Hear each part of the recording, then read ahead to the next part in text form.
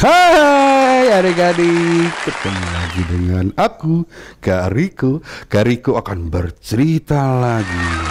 Cerita tentang manfaat asuransi pastinya. Kali ini judul ceritanya adalah Dirawat di rumah sakit. Hmm, mau tahu siapa yang dirawat di rumah sakit? Dengarkan baik-baik ya. Begini ceritanya. Pada saat musim hujan tiba,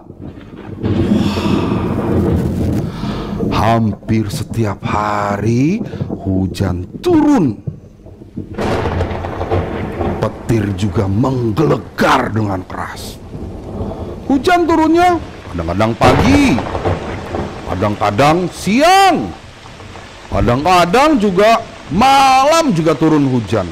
Bahkan sering juga hujan turun terus-menerus dari pagi sampai malam sampai pagi lagi. Akibatnya apa? Akibatnya sering terjadi kebanjiran. Sebenarnya bukan salah hujannya. Banjir terjadi karena kita yang malas menjaga kebersihan, yang suka buang sampah sembarangan. Jadi kalau sudah banjir, wah di situlah akan banyak sumber-sumber penyakit buat kita semua.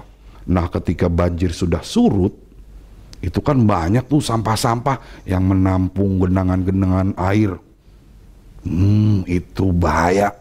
Bisa menjadi sarang nyamuk. Nyamuk yang mengandung virus. Nah, suatu siang, ada seekor nyamuk terbang. Nyamuk itu kehausan.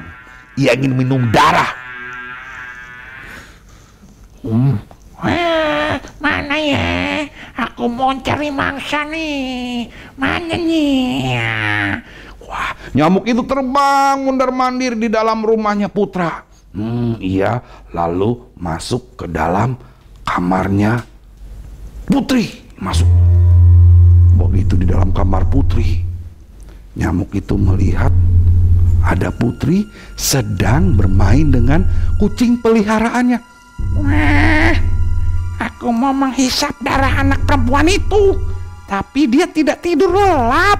Eh, aku tidak mau. Nanti bisa-bisa aku ditepuk hingga mati. Ah, aku cari mangsa lain saja. Ah.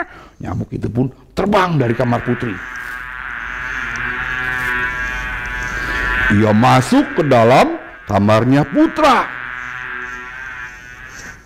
Begitu di dalam kamar Putra, nyamuk itu melihat Putra sedang tidur lelap.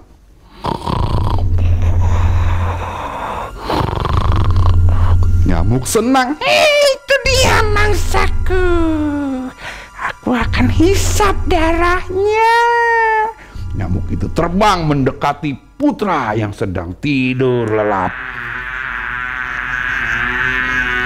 Begitu nyamuk itu sudah menempel di kaki putra, nyamuk itu langsung menghisap darah putra. Oh, nyamuk itu minum darah putra banyak sekali. Hmm, sampai perutnya gendut kenyang. Nyamuk itu berwarna hitam bintik-bintik putih.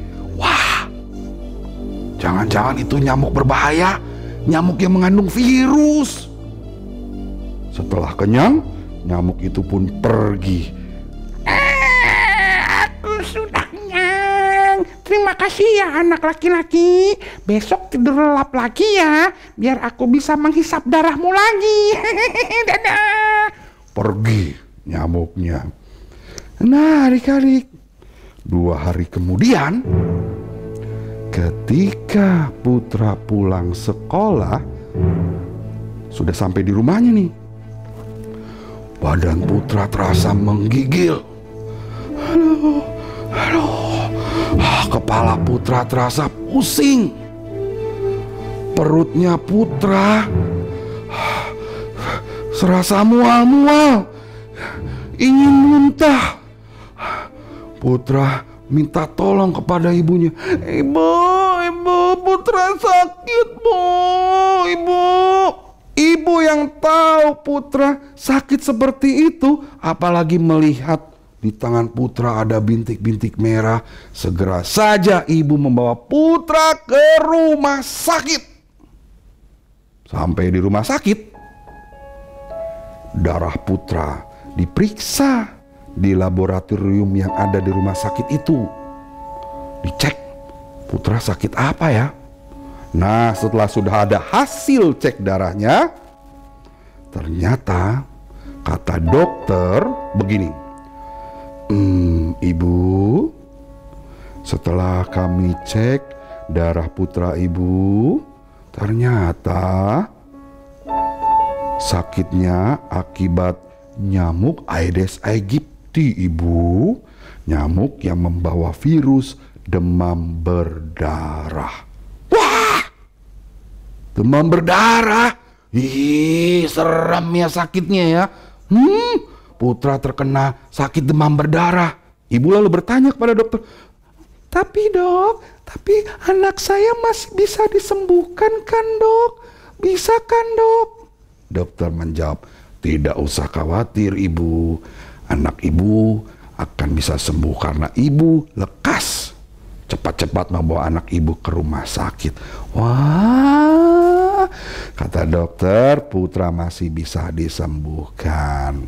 Tapi mau tidak mau, putra harus dirawat di rumah sakit. Dikasih obat, dikasih infus, dikasih makan. Wah, setelah beberapa hari, putra pun sembuh dari sakit demam berdarah. Hmm, ternyata adik-adik biaya perawatan putra selama di rumah sakit, wah banyak sekali. Jumlahnya bisa belasan juta. Ayah, tenang saja, tidak khawatir. Karena apa adik-adik?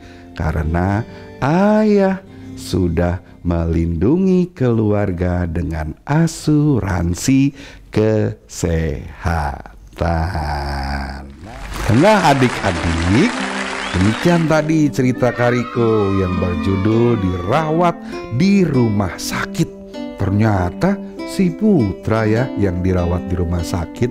Hmm, hikmah dari cerita tadi adalah asuransi merupakan sarana untuk merencanakan dan melindungi keuangan keluarga. Asuransi akan memberikan penggantian apabila terjadi kerugian yang dijamin. Ayo kita berasuransi. Sampai jumpa lagi di lain cerita. Dadah.